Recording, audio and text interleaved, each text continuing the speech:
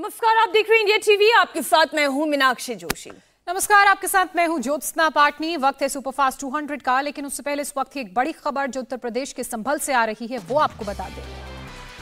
Social media पर भड़काऊ post डालने के मामले में बड़ा एक्शन हुआ है। पुलिस ने भड़काऊ पोस्ट डालने के मामले में चौदह आरोपियों को गिरफ़्तार किया है।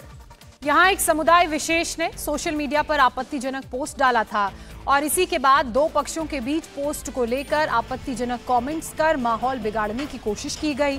जिसके बाद पुलिस ने पहले तो पोस्ट डालने वाले दो लड़के, तैयब और जुनैद को गिरफ़्तार किया। फिर उसके बाद पोस्ट पर आपत्तिजनक कमेंट करने वाले बारह लड़कों के बारे में जानकारी जुटाकर सभी को गिरफ़्तार कर लिया गया है। इस वक्त की बड़ी खबर, एक बार फिर आपको बता दें, ना सिर्फ़ विवादित पोस्ट डाला गया। उस पर ऐसे ऐसे कमेंट्स आ रहे थे, जिससे मामला और भड़क सकता था। इस वक्त की बड़ी खबर, जितने लोगों को हिरासत में लिया गया है, उन चौदह के चौदह लड़कों की तस्वीरें इस वक्त आप इंडिया टीवी पर देख रहे हैं। और ये खबर उन लोगों के लिए भी चेताने वाली है जो कुछ भी सोशल मीडिया पर लिख कर डाल देते हैं, बिना तफ्तीश किए, बिना छानबीन किए, मामले को भड़काने की कोशिश करते हैं, उनके खिलाफ कठोर से कठोर कार्रवाई की जाएगी। ये उन लोगों के लिए भी सचक करने वाली खबर है, जो कुछ भी बिना जाँच पड़ताल के सोशल मीडिया पर शेयर करते हैं।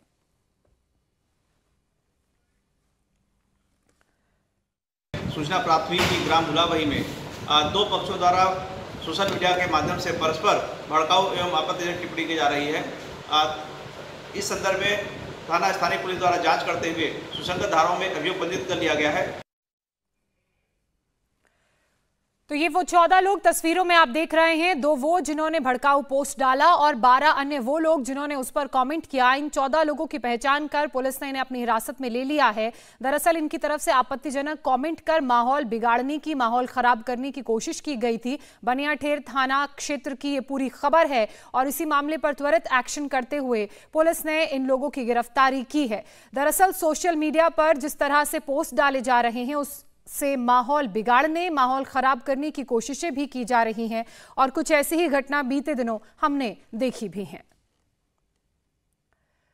इंडिया टीवी हर वक्त, हर जगह। डाउनलोड करने के लिए सर्च करें India TV news, Google Play Store या एप स्टोर पर।